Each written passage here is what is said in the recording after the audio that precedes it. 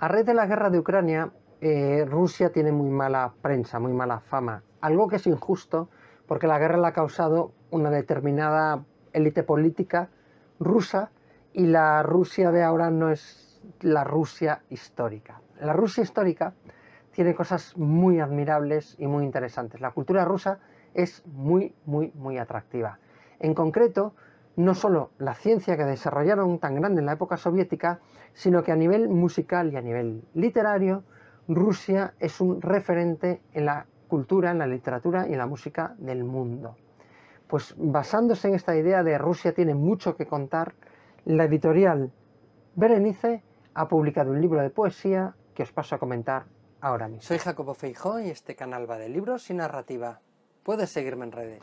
No es fácil ver antologías bilingües de poesía rusa, publicado por Berenice por 21 euros.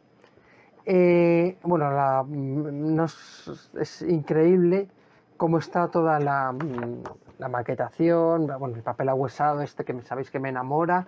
Fijaos, tenemos ahí en, bilingüe una maquetación, una encuadernación, una edición en general mm, muy cuidada, muy cuidada y hecha con, un cariño, ¿no? que se nota.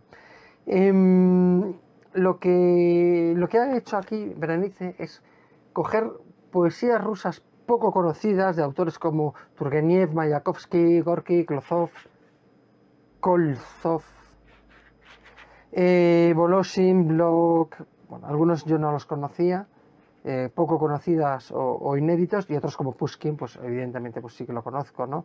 Eh, Carolina Paulova también me suena, he leído algo de él. Em, bueno, eh, Lomonosov, ese también lo conozco, Beli, Bolosi no lo conocía. Eh, a lo largo del siglo XIX, siglo XX, siglo XVIII.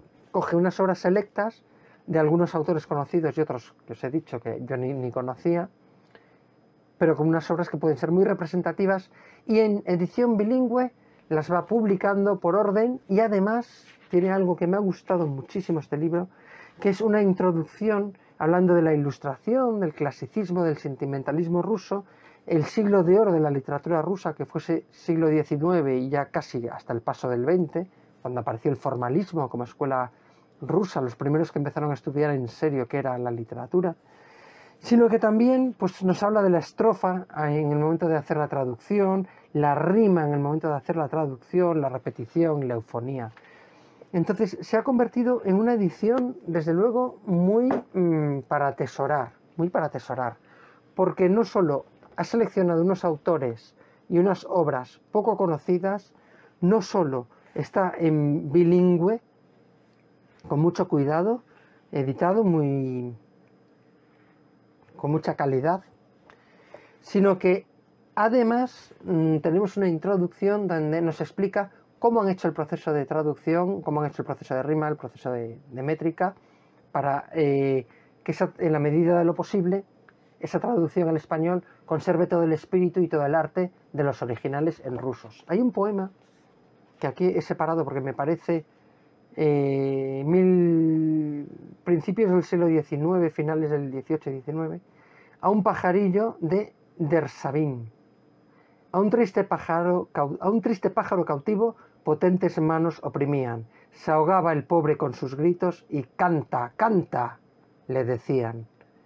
Yo creo que aquí hay una crítica mm, vetada al, zarismo, una crítica velada obvia.